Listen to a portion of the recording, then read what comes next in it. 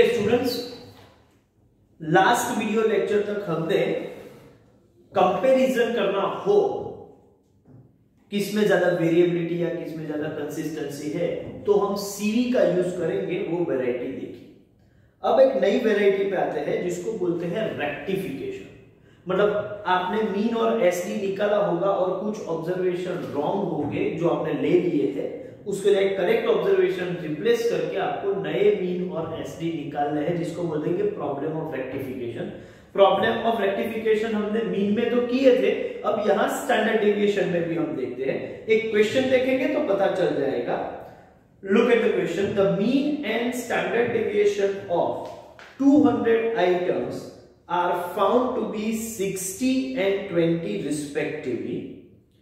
If at the time of calculations two items were wrongly recorded as 3 and 67 instead of 13 and 17 find the correct mean and standard deviation और उसके बाद है what is correct value of coefficient of variation तो चलिए पूरे question को ध्यान से समझ लेते हैं पहले हम ये डेटा समरी लिख देंगे जो भी इंफॉर्मेशन हमारे पास है उसको पहले हम यहाँ समराइज फॉर्म में लिखेंगे। एक तो है इनकरेक्ट एक्स बार और 200 आइटम्स का मीन जो है, जो रॉन्ग इनकरेक्ट है, वो 60 है।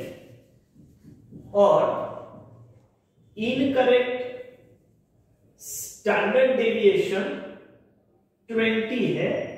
For how many observation you can say 200 observations के लिए। इसके साथ साथ बोला गया है कि रॉन्ग ऑब्जर्वेशंस कौन से हैं? तो by mistake at the time of calculation two items were wrongly taken excuse me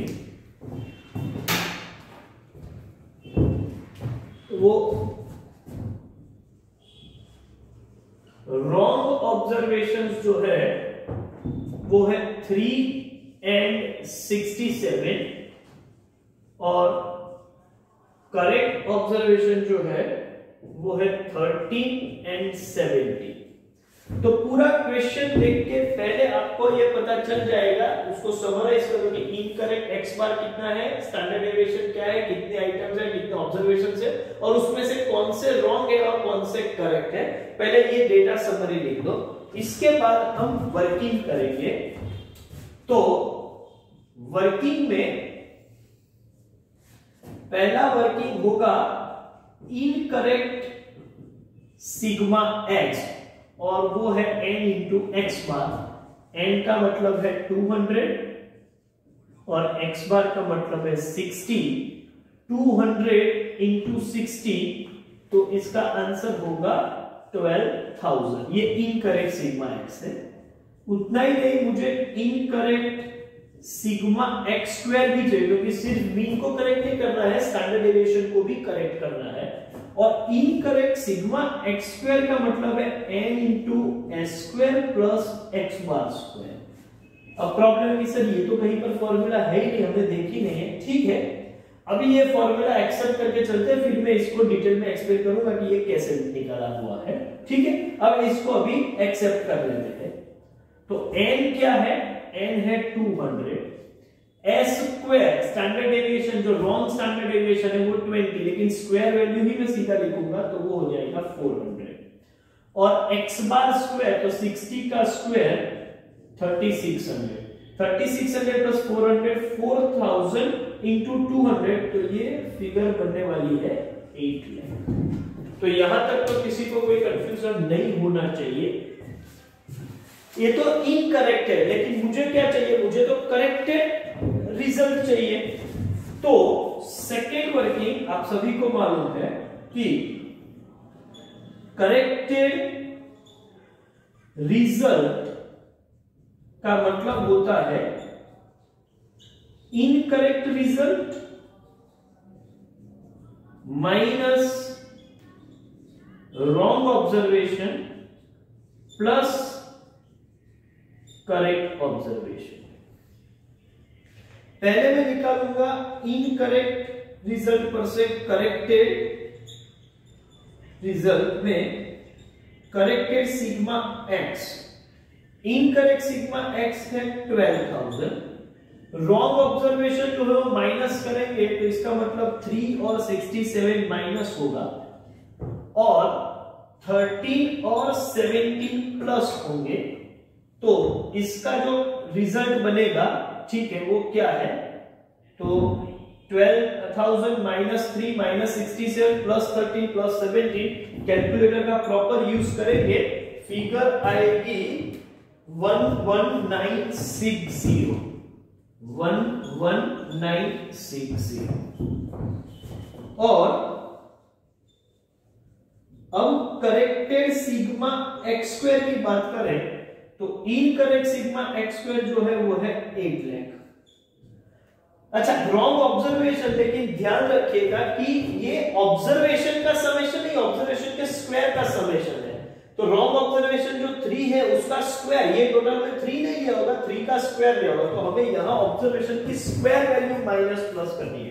तो मैं डायरेक्टली लिखूँगा थ्री का स्क्वायर माइनस नाइन और सिक्सटी सेवन का स्क्वायर वो मैं कैलकुलेट कर लो। सिक्सटी सेवन का स्क्वायर है फोर फोर एट नाइन। ये माइनस होंगे। Thirteen square one sixty nine and seventeen square two eighty nine plus होंगे। ये सब प्लस माइनस करने से फिगर मिल रही है seven nine five nine six zero. तो ये हुआ करेक्टेड सिग्मा एक्स और करेक्टेड सिग्मा एक्स स्क्वेयर लेकिन इसके बाद जो हमारी रिक्वायरमेंट है, वो क्या है? वहाँ पर आ जाते हैं। अब रिक्वायरमेंट रिक्वायरमेंट में पहली रिक्वायरमेंट है corrected x bar corrected x bar का मतलब होगा corrected sigma x upon n corrected sigma x कितना है भाई? तो करेक्टेड सिग्मा एक्स है one one nine six zero one one nine और की वैल्यू डिस्टर्ब नहीं होगी क्योंकि टोटल ऑब्जर्वेशन टू हंड्रेड है। दो गलत ऑब्जर्वेशन हम माइनस करेंगे लेकिन दो करेक्ट ऑब्जर्वेशन हम उसको रिप्लेस भी कर रहे हैं। तो टोटल नंबर ऑफ़ ऑब्जर्वेशन 200 ही रहेगा वो कभी डिस्टर्ब नहीं हो रहा है यहाँ पर। तो ये डिवाइड बाय 200 ही करेंगे। सो so, 11960 डिवाइड बाय 200 तो इसकी वैल्यू आने वाली है 59.8 ये मेरा करेक्टेड एक्स दूसरा है करेक्टेड स्टैंडर्ड डेविएशन और करेक्टेड स्टैंडर्ड डेविएशन के लिए मुझे corrected sigma x square upon n minus sigma x upon n the whole square ये सब करेक्टेड वैल्यू लेनी होगी। तो करेक्टेड सिग्मा एक्स स्क्वायर है seven nine five nine six zero seven nine five nine six zero divide by two hundred और उसके बाद sigma x one one nine six zero divide by two hundred और उसका square यहाँ पर एक step additionally calculate करना पड़ेगा। तो वो फिगर पहले ले लेते हैं। Seven nine five nine six zero seven nine five nine six zero divide by two hundred तो एक फिगर आएगा three nine seven nine point eight three nine seven nine point eight minus करना पड़ेगा one one nine six zero divide by two hundred और उसका भी square value मतलब three, five, seven, six point zero four. अब ये दोनों का डिफरेंस और उसका स्क्वायर रूट करेंगे तो three, nine, seven, nine point eight में से अपने को माइनस करना है three five seven six point zero four. और जो फिगर आएगा, फिर उसका स्क्वायर रूट तो ये फिगर हो रहा है ट्वेंटी पॉइंट ज़ीरो नाइन। ये करेक्टेड एस है। हाँ ये क्वेश्चन थोड़ा एक्सटेंडेड है। करेक्टेड सीवी भी निकालना है। तो उसके लिए मुझे जो दोनों करेक्टेड वैल्यू है एस और एक्स बार उसी को multi s upon x bar into hundred करके काम कर सकते corrected s corrected x bar कितना है? तो वो है 20.09 डिवाइड बाय 59.8 मल्टीप्लाइड बाय 100 तो वो वैल्यू हो रही है।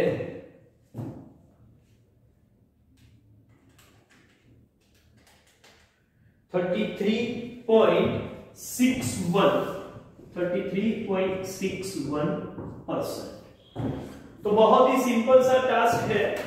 क्या करना है भाई? तो इनकरेक्ट एक्स बार और इनकरेक्ट स्टैंडर्ड डेविएशन और number of observation wrong observation कौन से? करेक्ट ये सब डेटा समरी पहले क्वेश्चन में से लिख लो।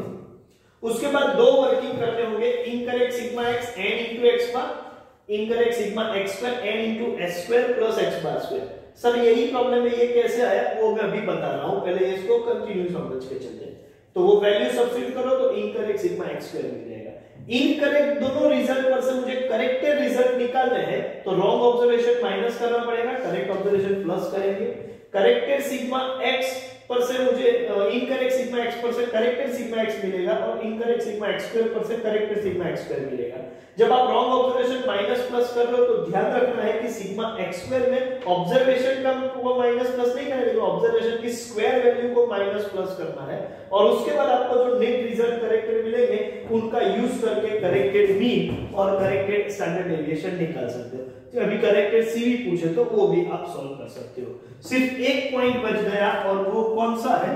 तो वो है कि सर, ये फिगर ये सिग्मा एक्स स्क्वायर का ये मतलब कैसे? जैसे सिग्मा एक्स तो पता है एन इंटू एक्स लेकिन ये कैसे हुआ? तो वो मैं यहाँ पर आपको एक्सप्लेन कर रहा हूँ, ध्यान से देखिए।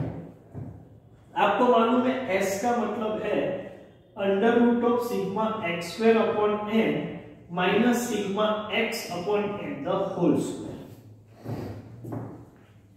अब मान लीजिए कि एस का स्क्वायर करेंगे तो स्क्वायर रूट रिमूव हो जाएगा। तो ये बनेगा क्या? Sigma x square upon n और sigma x upon n the whole square अच्छा कोई ऐसा भी बोल सकता है कि, सर, ये सिग्मा एक्स स्क्वायर अपॉन है लेकिन sigma x upon n ultimately तो एक्स बार ही है। तो क्या एक्स बार का भी स्क्वायर कुछ ऑब्वियस है।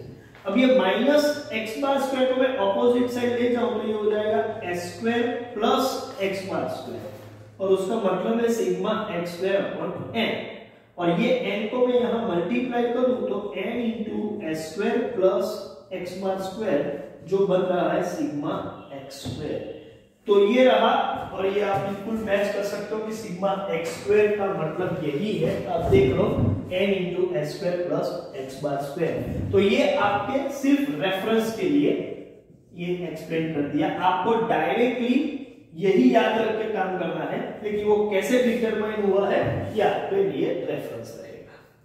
एक काम कीजिए, ठीक है? ये पूरे क्वेश्चन का तो आप स्क्रीनशॉट ले लीजिए। और इसके बेस पर जो क्वेश्चन आपको होमवर्क में है, वो स्क्रीन पर दिए हुए, उस हिसाब से आप होमवर्क कर लीजिएगा। और मैं ये सेशन यहाँ पर खत्म करता हूँ। Thank you very much